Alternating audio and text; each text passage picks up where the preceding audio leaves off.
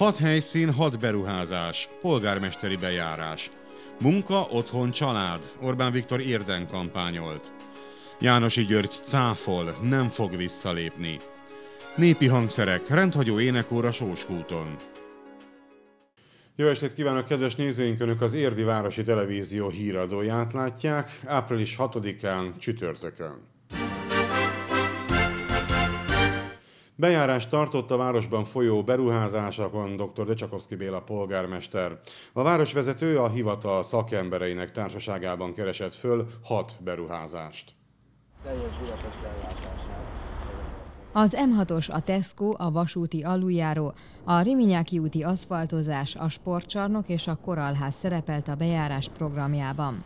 Az építkezések némelyike állami beruházás, szerepelnek köztük magántőkén alapulók is, és van egy, ami városi beruházásban történik. Én nem akarnék rangsort állítani a különféle beruházások között, valamennyi egyformán fontos a mi számunkra, és ez az a mai igazából nem is egyfajta ilyen protokolláris látogatás volt, hanem valóban kíváncsi voltam én magam is, hiszen ezek jó részt ugye nem a, a város kompetenciájába esnek, tehát engem is érdekelt az, hogy hol tartanak, hogy állnak, tudják-e tartani a, a menetrendet, képesek-e időre befejezni, úgy lesz-e, hogy terveztük, és ugye valóságban ez mit mutat, mert rajzokon, tervekből, szerződésekből ismertem a legtöbbet, de azt, hogy ez hogy fog kinézni, milyen benyomást tesz majd egy átlag érdi emberre, azt a helyszínen kellett és lehetett meglátni. Ezért kértem a sajtóképviselőit is, hogy jöjjenek velem, és szerezzenek benyomásokat, és szerezzenek információkat a helyszínen a legilletékesebbektől. Nos, milyen benyomásokat szerzett?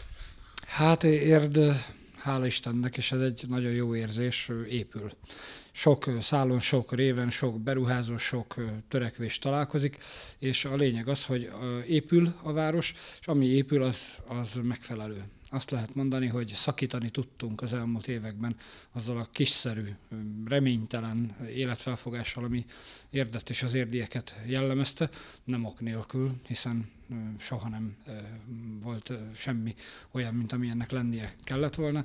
De most az az érzés uralkodott el, hogy igenis érden is lehet nagyszabású, érden is lehet kifogástalan dolgot építeni, és ért semmivel nem rosszabb, mint a világ, a nagyvilág bármely más városa, és csak a legjobb a jó az érdieknek is. A Városi Sport és Rendezvénycsarnok látogatásakor nézhettünk körül a gazda szemével, mivel ez készül a város beruházásaként. Az épület puszta csontváza között állva érdekes volt elképzelni, hogy milyen is lesz majd ősszel. Ott is a helyszíni benyomások szerzése volt a cél. Álljunk meg a majdani küzdetér közepén, nézzünk körül egy kicsit, képzeljük el, hogy milyen lesz, és próbáljuk eltalálni azt, hogy ez fog-e tetszeni majd az érdieknek. Én elégedett voltam vele, bár valóban ez az a beruházás, amiről a legtöbb információm volt, hiszen a tervezést végigkövettük a szerződéskötés fázisában, pontról pontra végigmentünk minden lehetséges momentumon. De a helyszínen ez a beruházás is azt sugalja, hogy egy impozáns, nagyszabású, komoly létesítmény lesz, ami az érdiek örömére szolgál, nem csak azért, mert funkcionálisan megfelelő, hanem azért is, mert egy nagyon látványos, nagyon színvonalas középület lesz, egy olyan foltja a városunknak, amire joggal lehetünk büszkék. A polgármester azt is elmondta, hogy ezek az építkezések véleménye szerint új mércét, új etalont jelentenek Ért városában, és ezentúl nem is szabadna ezeknél alacsonyabb színvonalon építkezni. Akár csak négy éve most is a választások előtt néhány nappal látogatott Érdre Orbán Viktor, a Fidesz miniszterelnök jelöltje. Az alsó utcában fölépített színpadon tartott beszédét a munka, otthon, család hármasi elmondat köré szőtte. Narancsárga első kabátokba, sapkákba és kendőkbe öltözött tömeg várta Orbán Viktort, a Fidesz miniszterelnök jelöltjét az Alsó utcában felépített színpadnál. A rendezvény első felében népzenével és néptánccal szórakoztatták a megjelenteket, majd a párt helyi jelöltje Aracki András lépett a mikrofonhoz. Ebben a kerületben is sokan dolgozunk azért, hogy közös sikerként éljük meg munkánk eredményét. Tiszta szívvel és lélekkel köszönöm önöknek az önfeláldozó munkát. Még három kemény nap áll előttünk. És a jelen értékelni fog minket. Ilyenkor az ember azt gondolná, hogy napról napra nő benne a feszültség, mi lesz, hogy lesz vasárnap, vagy ha szükséges, két hét múlva. De ahogy végignézek itt a egybegyűlteken, azt látom, hogy oldódik a feszültség. Fél öt után megérkezett Orbán Viktor, akit a tömeg éjjenezve fogadott. Beszédében a többi között kiállt Mikola István mellett, akit, mint mondta, ő maga állított a támadások keresztüzébe, mert csak Mikola tudja megmenteni a magyar egészségügyet. Összességében tehát azt szeretném mondani önöknek, hogy az új gazdaság mellett egy új államra is szükségünk van.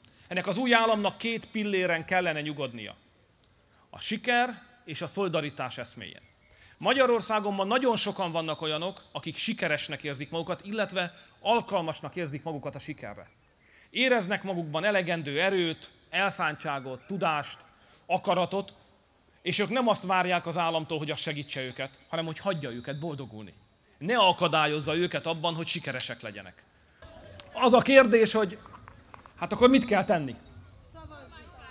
Először is április 9-én el kell menni választani. Tisztelt Hölgyeim és Uraim, mi, akik itt vagyunk ezen a téren, mindannyian el fogunk menni választani. Részben azért, mert ennyivel tartozunk egymásnak. Részben azért, mert mi mindig elmegyünk. Mert valójában nem vagyunk. A miniszterelnök jelölt beszéde után elsietett Budapestre, ahol televíziós vitában mérte össze tudását ellenfelével.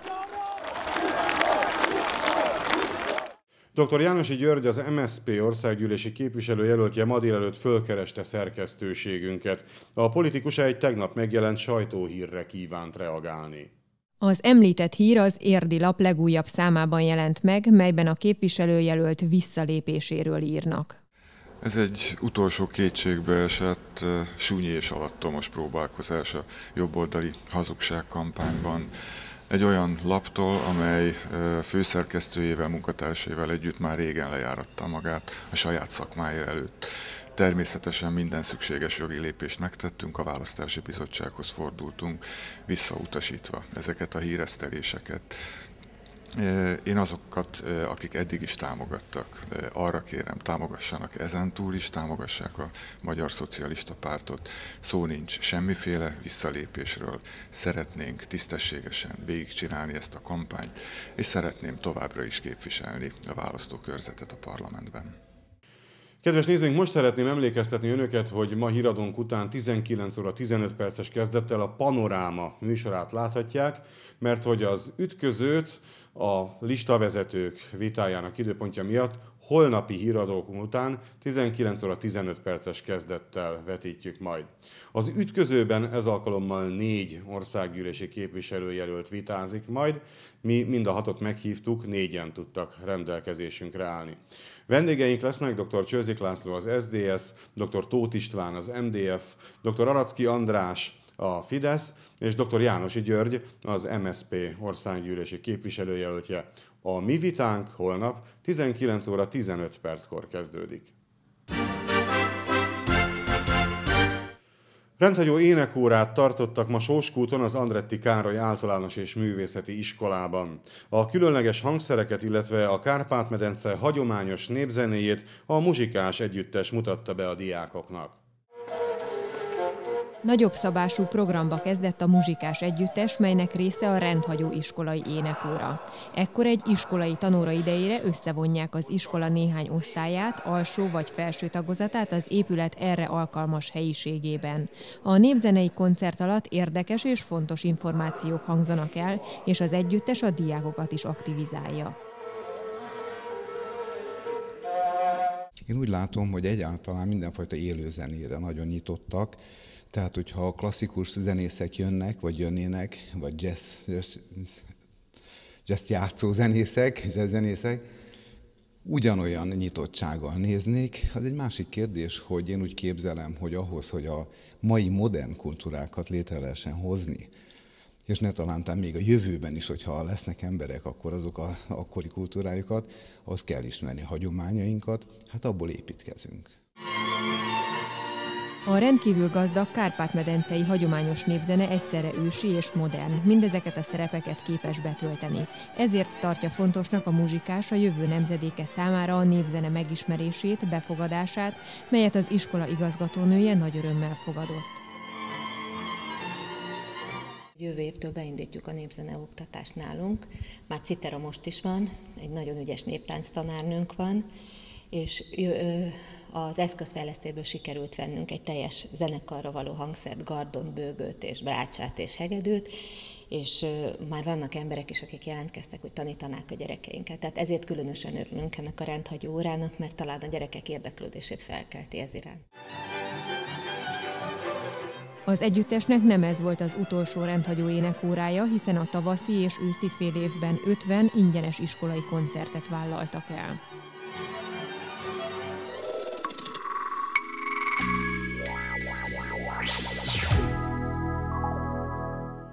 Hétfőig a fokozatos melegedés mellett végre sok napsütésre és kellemes tavaszi időre számíthatunk. Pénteken a hideg reggel után gyengén felhős, majd derült idő várható. Az északi szél gyenge marad, a hőmérséklet hajnalban 2, holnap kora délután 11 fok körül alakul majd. Kedves nézőink, Önök a Városi Televízió híradóját látták, munkatársaim nevében is köszönöm megtisztelő figyelmüket, viszontlátásra!